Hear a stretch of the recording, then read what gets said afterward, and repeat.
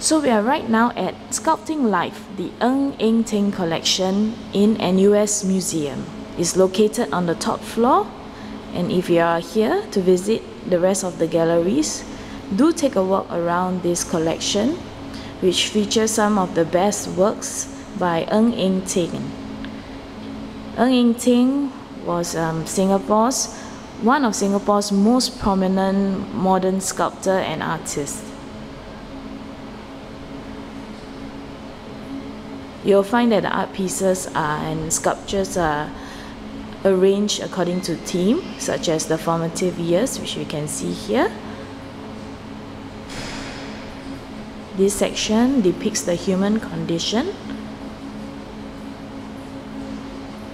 And you'll find a self-portrait of Ng Eng Teng himself here.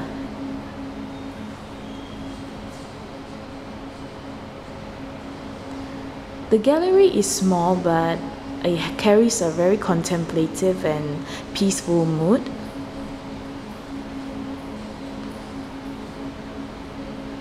It is very informative and it makes you ponder on subjects on human and humanity in general.